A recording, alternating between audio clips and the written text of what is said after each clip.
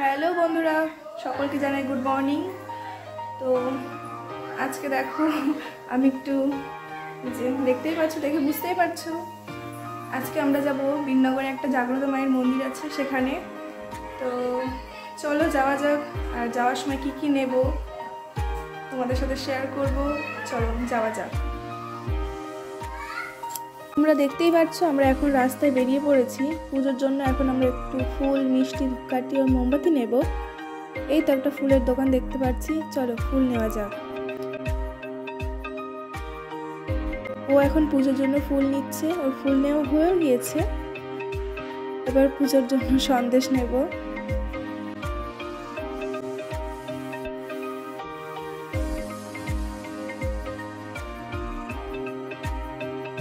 এবার সন্দেশ কিনতে গেল, তারপর ধূপকাঠি ও মোমবাতি কিনতে যাব।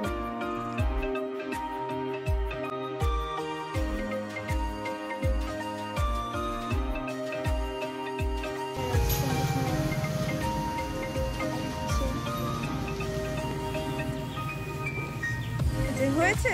নেওয়া? আবার যাচ্ছে ও মোমবাতি আর ধূপকাঠি আনতে।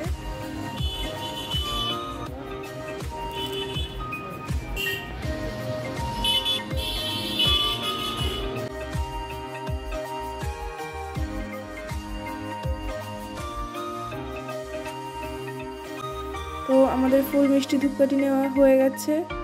এবার আমরা মন্দিরের দিকে এগিয়ে যাব। চলো।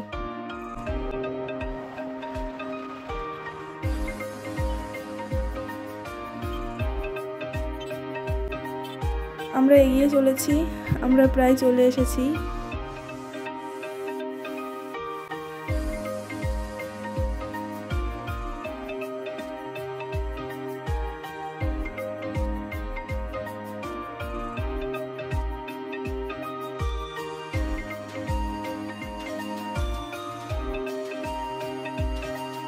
যে আমরা চলে এসেছি মন্দিরে।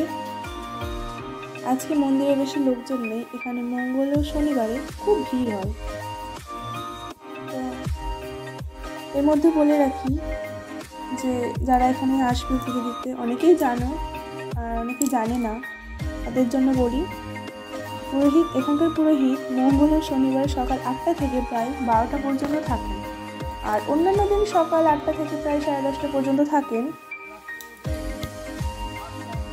বলে দিলাম।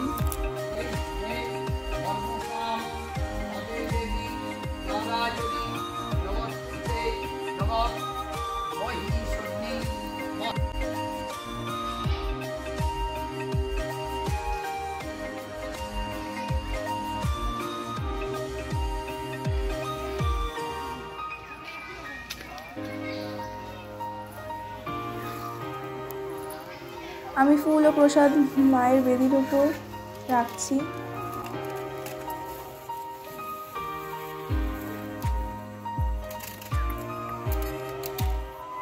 বাবা মা দেখবেন আমি তো প্রসাদ দেওয়ার সময় আমি অন্যদিকে ঘুরে থাকব।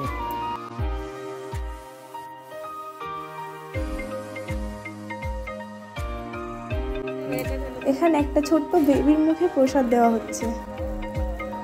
এই যে এই যে এই যে প্রসাদ খাব তো। বাচ্চাটা কি সুন্দর, প্রসাদ খাচ্ছে, দেখো। তো ও একটু কান্না করল না?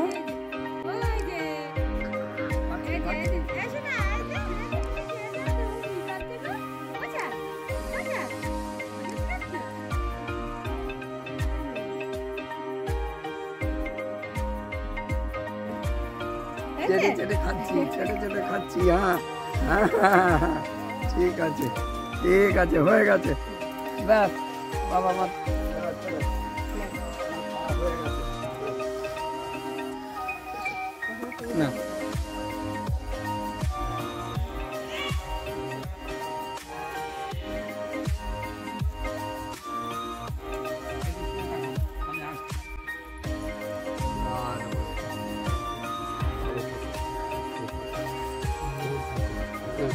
জয়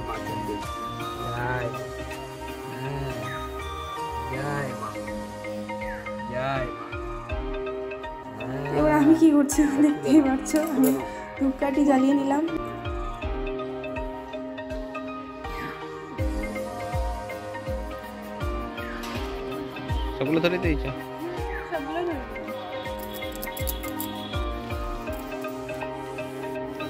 তুমি ঘোরো আগে ঘুরে নাও কিংবা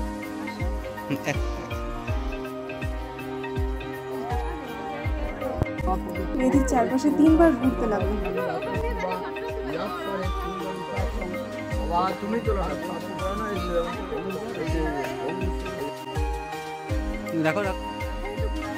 মোমবাতি নেই। এবার ধূপকাঠি ও মোমবাতি রাখার জায়গা আছে সেখানে রেখে দিলাম। আর যাও না।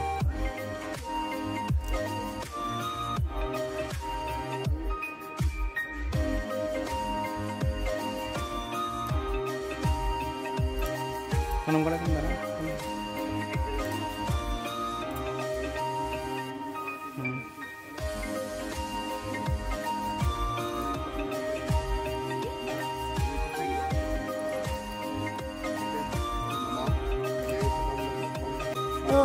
এবার পুষ্পাঞ্জলি দেবো চলো।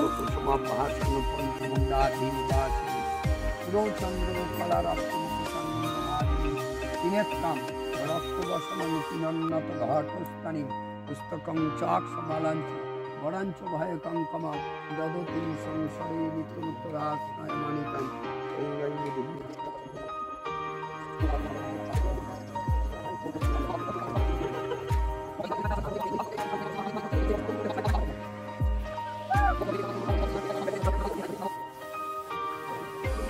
আমাদের পুষ্পাঞ্জলি দেওয়া হয়ে গেছে। এভাবেই পুরো পুজোটা তোমাদেরকে দেখানোর চেষ্টা করলাম।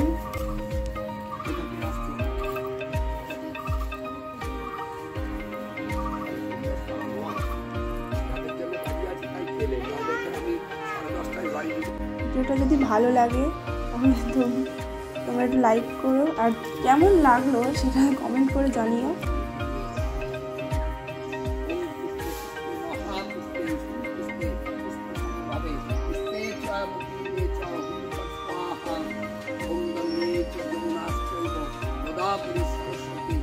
আর